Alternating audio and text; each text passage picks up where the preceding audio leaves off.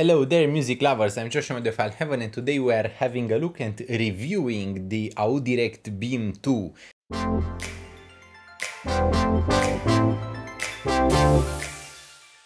This is the second generation of the Beam USB DAC from Audirect and Hilidac. The point about the Beam 2 is that uh, it costs 150 US dollars or 140 US dollars depending on the shop. You can also find it on drop for a bit less and it is made in China. It has one of the best price performance ratio out there and if you remember that I really loved the NextDrive Spectra thingy I really love this one as well for the same reasons a really clean sound a lot of driving power and a very very good overall quality.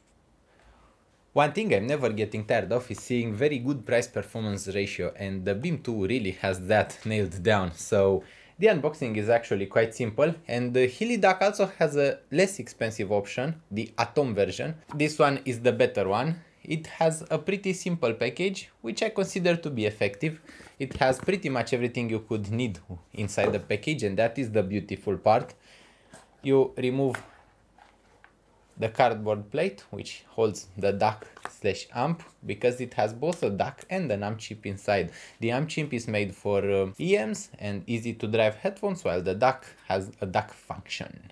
Here is the little instruction booklet or presentation booklet as I would better call it and they actually warn you to not use two headphones at the same time. Although that is possible, it, they do not recommend it because it will get pretty hot during usage if you are doing that. It comes with short cables. This one is Type-C to Type-C, which will be the one you are most probably going to use if you are purchasing the Beam 2.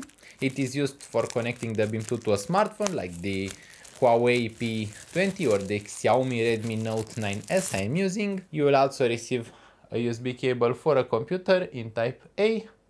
And uh, this one is actually a bit controversial on whether it is as handy as the Type-C to Type-C because it is very short. It has pretty much the same length as the USB Type-C to Type-C and this is not exactly enough for most users because if you are going to use it with a computer you may want a bit more space so that you don't have to use the entirety of the cable length of your EMs or headphones. Inside the package you can also find the last cable and the last cable is a lightning cable for iPhones and for iOS devices. I find the inclusion of this pretty nice. It is nice to have a lightning cable as well but I think that most users are going to want something like the Beam 2 for Android smartphones rather than uh, iOS devices. I was able to test it only with Android devices, but I was able to get excellent results with both smartphones and with DAPs as well, because there are DAPs which you can see it pretty nicely actually. Let's keep the Type-C to Type-C, so this one, to show you how it works. This is the entire device of the Audirect Beam 2. You can see it is very very tiny. It has two outputs, one in 2.5 and one in 3.5 the advantage of having two headphone outputs means that you can use both your balanced and your single-ended EMs with it. The connection is actually very hassle-free, you just plug it in and uh, you take your favorite source like a DAP or a smartphone, in my case the Xiaomi Redmi Note 9S. So after I have connected the Beam 2, as you can see here, this is the Beam 2 and it got connected. My smartphone sees it instantly I can actually select to use it. It is being used by default and the music is already playing through it. You can check whether it is working or not because it has a LED flash inside. It is colored too depending on the data rate you are using for your files. I mainly use it with Redbook CD files which is probably the best uh, space to quality ratio because the Beam 2 can also decode high resolution formats which is pretty nice but when decoding high res formats you need to take into account that you may have limited space. Most smartphones these days don't even have a micro SD slot and uh, that means you have only so little space to store your music. In that situation I would either use um, MP3s or FLAC files in Redbook format. For 150 US dollars, it is not the most affordable type of USB DAC and there are much more affordable ones. It has pretty much the same price point as FiiO BTR5, which is a very high price point relative to the device itself because BTR5 has Bluetooth 2. It can also act as a USB DAC and uh, the Beam 2 has that too, but does not have USB DAC abilities. On the other hand, it has MQA abilities. So if you are an MQA fan, the Beam 2 is going to be a lot of fun to use. It also can do DSD files too. So a lot of high resolution for such a tiny device. As you can see, I've been reviewing a lot of tiny devices. This one actually left me impressed. In terms of power draw, the Beam 2 drains some battery from my smartphones. It tends to shorten the battery life of my smartphone quite a bit. That is something to take into account. It also gets very hot during usage. You will touch it and you'll know it is running. While it is turned off, it is pretty cold to the touch. It is a metallic device, but it is just one slab of metal. You really can't break it, you can't really do much to it. It is very simple, but also very effective. Both headphone outputs are of a very good quality and I've been testing both of them. So mainly I done tests on the 3.5 millimeter output because I was curious in the most generic conditions how it would sound like because most people investing just 150 US dollars are more likely to have single-ended headphones and EMs rather than having balanced headphones and EMs. On that note, I have tried the Beam 2 with FiiO FA9 and the pairing has been actually quite excellent. The Beam 2 has a pretty digitalish kind of sound. It is very, very good at revealing details in the treble, but also doesn't have a lot of body, and it is not the thickest of sounding devices, which means that it will pair quite well with warmer, more creamy sounding EMs. For example, the FiiO FA9 is a very good pair because they have a lot of bass, they are very impactful, and the 2 is a pretty wide holographic kind of sounding uh, DAC slash amp, which means that the Beam 2 will make the FA9 sound pretty wide in the end and pretty holographic. The separation is also quite good and it has a much better driving power, much better overall detail and clarity than my smartphone Xiaomi Redmi Note 9S when driving an EM. That is something I've actually noticed because my smartphone can struggle driving something like the FA9 and it can struggle driving pretty much everything and the Beam 2 has much better driving power and this actually plays very well for me because I listen to a lot of music on the go and using something like the Beam 2 is a very good option for me. Just before doing this video I also had the chance to compare the Beam 2 to Hidizs AP80 Pro. This is a unit that I'm also reviewing on video and this is where things started to get interesting because the Beam 2 has actually more driving power than the AP80 Pro. It has better overall clarity, better detail and a wider soundstage. On the other hand, it has none of the abilities of the AP80 Pro. The AP80 Pro is only slightly more expensive than the Beam the second and uh, this is interesting because I am actually considering making those two a stack, so using the Beam 2 from the AP80 Pro as a source. This is an option and uh, I actually feel it is a pretty good option. The Beam 2 is a very versatile kind of DAC slash amp and in terms of pairings I've been testing it with more headphones, even larger ones. So for example I decided to do blue with blue, this is the Spirit Torino Blue, it is a very blue headphone and uh, I actually noticed that this is a pretty comfortable headphone. It is also possible to drive it from something like the Beam 2, but it prefers a more high-end source. This being said, I liked the sound it provided with the Beam 2. It makes them pretty wide sounding and that is a good thing because this is a pretty spacey kind of headphone. It also has very good separation between instruments, a very good detail too. And the Beam 2, just look at how tiny it looks compared to something like a proper headphone.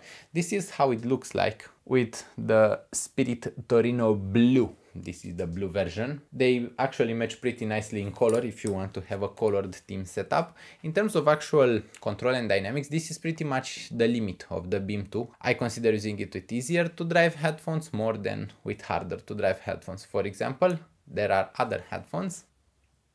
This is the Master of Sound MAS X5i this is the i version so this is the in-ear version from the MAS and this one is interesting, not because it is uh, another EM randomly, but because they have a very, very bassy, powerful and punchy sound.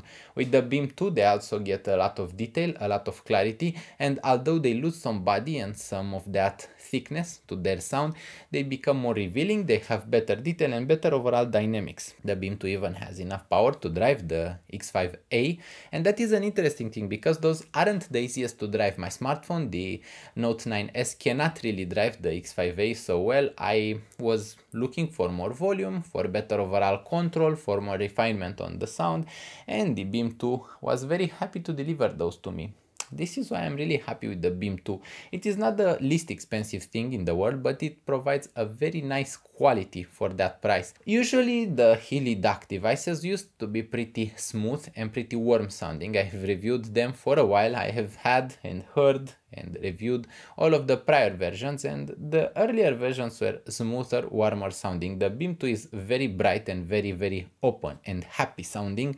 And this is something I've noticed about the Atom. The Atom, being the less expensive version from the same company, from Hilidac, is actually smoother and warmer. So they kept the original signature for their more entry-level stuff, while the high-end stuff sounds more open and more sparkly. This is not an issue, as I would call it. It is a matter of taste and preference and a matter of synergy. A lot of this is a matter of synergy because if you have a smoother, warmer or bassier sounding EM like the X5i, this one is going to make them sound pretty good in overall. Comparing the Beam 2 with the Tempotec V1 variations, this is a very interesting DAP. It has two micro SD slots and a lot of features, but comparing the two results in a pretty interesting thing because their sound is actually quite similar. Similar driving power, similar overall refinement and although not exactly a similar overall signature, it is pretty close and that made me think that the Beam 2 is made to pair with something that would work well with V1 as well. The advantage of using the Beam 2 with your smartphone would be that compared to something like the V1 you have less user-friendly interface with the V1. This one is kind of buggy still. I mean, it isn't bad, but it isn't perfect either. At this moment, I would probably recommend you to use the Beam 2 more if you are looking for a very hassle-free setup. A lot of people don't really want to bother with DAPs or with setups that may get complicated. In this situation, the Beam 2 is easier to use, although the Beam 2 also has a balanced output, which the V1A does not have. The V1A only has a single-ended output in the 3.5mm format. Both are seen by my smartphone and by most smartphones and both can be used as an external USB DAC. So the future setup is pretty comparable, but in terms of actually using them and actually playing with them and actually using them daily, the Beam 2 is easier to use and much less intrusive than this one. I have had the chance to test the Beam 2 with SoundMagic HP1000, the latest flagship from SoundMagic, and I think that this is one of those pairings where I don't quite like what I'm hearing because the SoundMagic is quite bright already. They have a very strong and revealing treble. They have a lot of clarity and detail and the Beam 2 actually makes them sound a bit too much. It is a bit too much detail, the treble is a bit too high and there isn't quite enough bass and quite enough body to the sound. In that sense, the SoundMagic will like a smoother, thicker and uh, bassier overall source more than it will like the Beam 2. This means that for something like those ones, I would recommend many other sources, maybe even the less expensive version, the Atom, is more recommended than the Beam 2. This is what I'm trying to explain about the synergy and about pairing things. You need to pair the headphones and the DACs with different characteristics. You are supposed to use a brighter DAC if you already have warmer headphones. If you already have brighter headphones like the SoundMagic, you are supposed to get a slightly warmer, more natural sounding DAC. Otherwise, it may be too strong and the treble may be too sparkly for you and it may cause fatigue. At the end of this review, I could say that the Beam 2 is a very interesting overall sounding DAC slash amplifier. It has a lot of power and if you need a clean line voltage, it sounds like it is one of the cleanest DAC slash amps I've heard in the last few weeks. Its main highlight is the cleanness of the sound. Even compared to something like the HUD100 from EarStudio, this one is considerably cleaner, has way more driving power and way more punch and a much sparklier treble. The HUD100 has less driving power and it has a smoother, more natural overall sound. They sound quite different next to each other and they are made for different headphones, different EMs and different setups. I would recommend the Beam 2 with something that is smooth, that is warm, that is rolled off or which you want to sound brighter. It has a very open, very wide stage. It has a very good clarity. It doesn't have a lot of body and a lot of bass. So I would recommend this one if you want something which is a bit brighter to brighten your day. I thank you for watching. I hope this video has been enjoyable. Hit that like button if you enjoyed this video. Also press subscribe for more content. I thank you for watching and we'll see each other really soon. Bye bye.